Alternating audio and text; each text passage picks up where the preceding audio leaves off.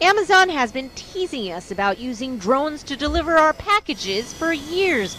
But after all the hype, Amazon packages still arrive on wheels.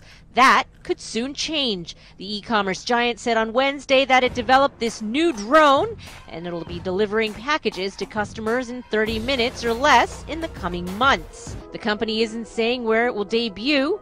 It made its first customer delivery by drone in the UK in 2016.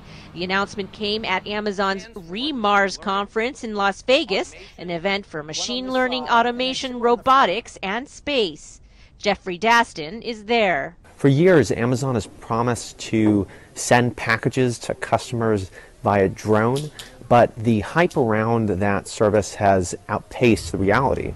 The challenge is manifold. First, it is technologically difficult to make sure that the drone does not trip up on some wires that are hard to see in the sky.